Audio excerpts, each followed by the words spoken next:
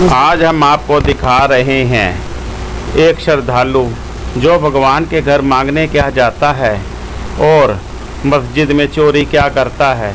दिल ना भरने पर फिर वह दोबारा चोरी करता है। आखिरी में फिर भी दिल ना भरा वह चोरी कर कर किस प्रकार निकला, देखे पूरी रिपोर्ट।